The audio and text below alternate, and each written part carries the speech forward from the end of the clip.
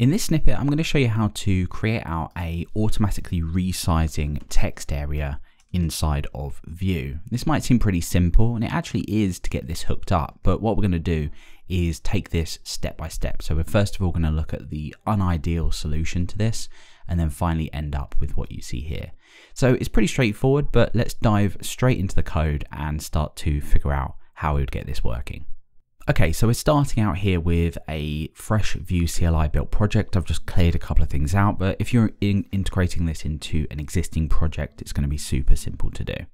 Okay, so let's just start out, of course, with a, a few text areas. So I'm just going to bring all of these attributes down because we're going to be adding some uh, event hooks onto these in just a moment. So let's just pull all of this down here and let's just give this a name. Let's just say body and let's give this an ID as well. It doesn't really matter too much what we're doing with this now. And now we need to figure out, well, for all of the text areas we have on a page, so we could have two of these, we want to uh, hook this in somehow. Now I'm just going to do it by its tag name, but of course what you can do is do this by class. So for example, if you wanted a specific expanding text area, you could do something like text area expand. Uh, it's entirely up to you. But this solution isn't going to be great, and I'll talk to you about why that is in just a minute. Now, what we want to do is somewhere in our application, in this not ideal uh, implementation is have some kind of mounted hook. So when a component renders, we can start listening uh, or at least setting um, event listeners to our elements. So we're going to start out by just using query selector all, and we're going to pass in, like I said, the tag name of these elements. Now this will return to us a list of elements that match that tag name. So if we just do a console log on this, we'll be able to iterate over this. So let's just pop over to the browser and we should see, if we just inspect this, bring up the console, we should see we've got a node list of two text areas. So we can iterate over each of them and add this event listener. Remember, this isn't the ideal solution. Eventually, we're going to extract this out to a component. So let's go ahead and add just a really simple for each loop on this. And for each of these elements that we get in, we're now going to set up some kind of uh, event listener. So when we hit a key, we're going to automatically resize this based on the scroll height of the element.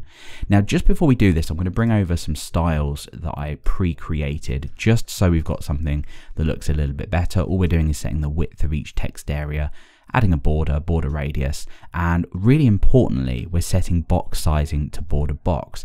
I'm going to comment this out just for now because we're going to examine what happens if we don't have box sizing set to border box and we have a padding set to our text areas. Most of the time you will have a padding set to your text areas, so this is really important.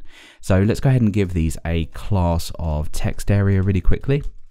So we'll do that for each of these and let's give that a refresh. Great. So we've got this just in here now. So what we want to do then, let me just go and get rid of the columns and rows because they look a little bit too high.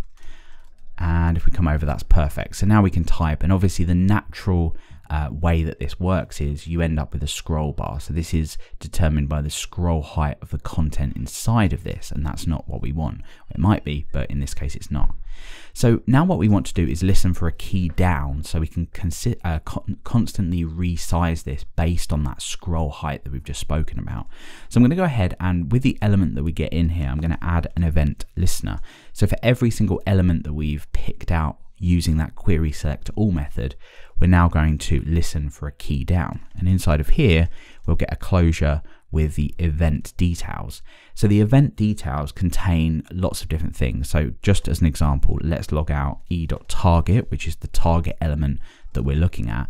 If we go ahead and keep our console open and type something in, we get the target just inside of here. So we can pluck out attributes from this, we can set styles, we can do pretty much anything that we want to do. Now, what we want to do is, uh, first of all, set the height of this to auto. Then what we want to do is resize it, and I'll speak about why that is in just a minute. So I'm going to say e.target.style.height, and first of all, let's set this to the scroll height of the element. So the scroll height of the element, let's just pop this in here, is e.target, so that element that we just saw, dot scroll height like so. Now, when we are creating an event listener like this, what we actually need to do, it's a little bit hacky and that's why I don't like this solution, is we have to put a set interval in here with a zero, just so it has kind of time to catch up. So I'm going to go ahead and pop that in there. And of course, this isn't the ideal solution, so we'll be getting rid of that in just a minute. So if I type a character in here now and I come down, notice that actually nothing happens. So let's go and check why that might be. Ah, of course, we need to add the uh, unit just inside of there.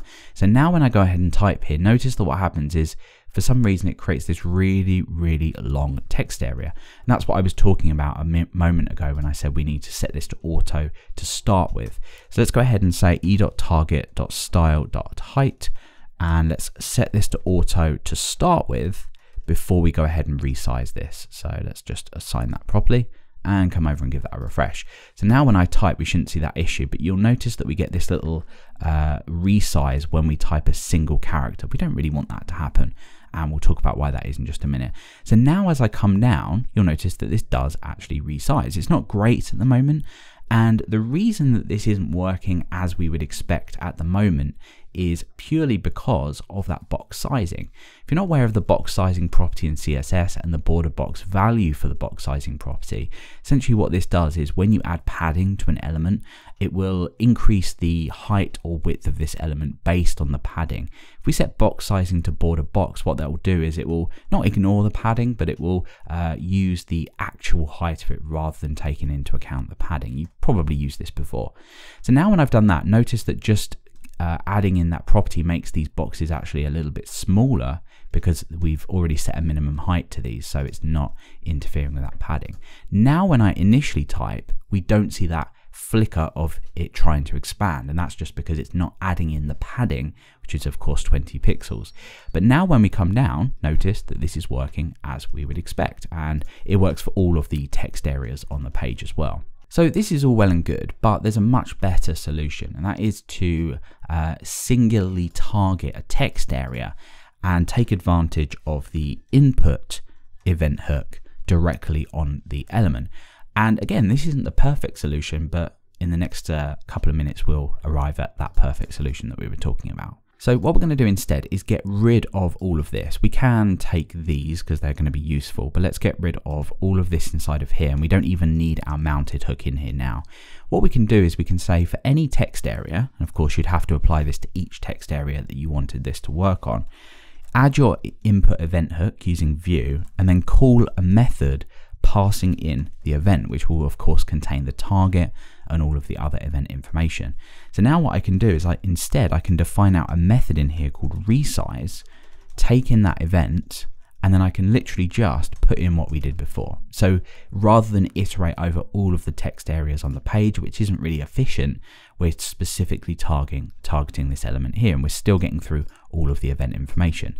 So now if we come over and give this a refresh, you can see it works in exactly the way that we would expect. So it's still automatically resizing itself. Now with this, uh, we just have a really, really simple app here with nothing else much, uh, nothing much else going on. But let's say that you did have a text area on a page, you wouldn't want to take this method and add it to another page within your Vue project. It's not going to be great. So the ideal solution that we're now going to arrive at is extracting out our text area to a completely separate component of its own. Now, this does have implications with things like uh, attributes that you want to set, certain events that you want to fire from your text area, but I'm going to do my best to cover all of them now. Now, inside of the components directory, let's create out a form folder. And inside of here, I'm just going to follow Vue standards. I'm, I'm going to say app form text area dot view. So that's going to be a completely separate component that we can use to basically render out one of these text areas. So I'm actually going to copy all of this into here and I'm actually going to take all of this as well and pop that into the script section of this component. So let's just pop that in there and just re-indent that. Great. So now we've got a completely separate text area that we can import and include wherever we need a resizable text area. And if you already had a text area field somewhere and you wanted to include that in here, you just import that component from within here. But we'll try and keep things simple for now. So let's go ahead and define out our app form text area. Remember, we don't need this method in here now, but what we do need to do is import that component that we've just created. So let's import this from the root directory under components, under form, and in app form text area. Great. So now all we need to do is just to find out our list of components in here, and that is just app form text area. So pretty straightforward stuff. And we can actually move these styles over as well now, uh, since we have a separate component. So I'm going to create a style tag in here. I'm going to make this scoped because it only applies to this particular component, and we should be good to go. So let's go and just make sure we've included this within here. Come over to the browser and you can see that this is working as we would expect. But let's look at the ramifications of moving something like a form here over to a new component. Let's just say that on this page that you were building, you had some data that you wanted to use to keep track of what is in that text area. That's pretty normal, and I usually include a form property in here with a body like so. Well, we'd want to use vModel on this to hook this up, if I can actually type. So let's go ahead and hook this up to form.body. And just down here, let's output the contents of that object. So heading over to the browser, you can see that when I actually type something in here, despite the fact we've hooked it up with vModel, it is not working. So although we've got this working, we really have to make sure that we can actually keep track of what's being typed inside of here. And that's actually pretty straightforward. Now, if there are any other props that you want to pass down, you can follow this same pattern. So let's just say that you wanted to set the name and the ID to the same thing we would pass some props down to this component because of course not every text area on your site is going to have the same name and ID. So for example, you could define out a name prop in here. You could say that this is required because we're going to also set this to the ID which is required and it's recommended that you set a type hint in here as well. So we're going to say that we want to make sure that that's a string. So now what we can do is we can replace out the name and the ID with the name prop, making sure that we bind that in using a colon in there. And if we come over to here, you can see we get missing required prop name. So we're going to have to pass that in to here. So we're just going to call that body for now. And you can see if we just inspect this element that we get the name and the ID both set to body. Great. So now that we've done that, we need to work out this vModel stuff. So over in our app form text area, a little lesson on how vModel actually works. vModel will take in a prop called value to set the initial value of the field. So what we can actually do is we can say required false because that might not be passed in. And if we initially set the body to something in here, and we make sure that we bind the value in that we get through as a prop, like so. So let's bind that to the value. We'll actually see that output in there. So vModel is essentially just syntactic sugar for passing in a value that exists within what you're binding into here. So we can just use that prop that's being passed in by default to bind the value to our text area. But now what happens when we actually want to type and see this value updated? Well, in that case, we're going to have to do something within the input uh, event. So what we want to do is, as well as resize this, we also want to emit an event within here. And again, this is a little lesson on how vModel works. vModel will listen for any input event, like so, and it will take the value and set that to what you've bound it to within the outer component. So all we want to do is use event, target, and value, and emit that from this component under input. So if we just go over here now and I carry on typing, you can see that that is taking that into account. So all of that was completely unrelated to the auto resizing text area that we've built, but it naturally follows that you'd want to extract this out to a separate component to keep this resize method nice and reusable. So there we go, we have an auto resizing text area with everything hooked up so we have everything that we need to reuse this component.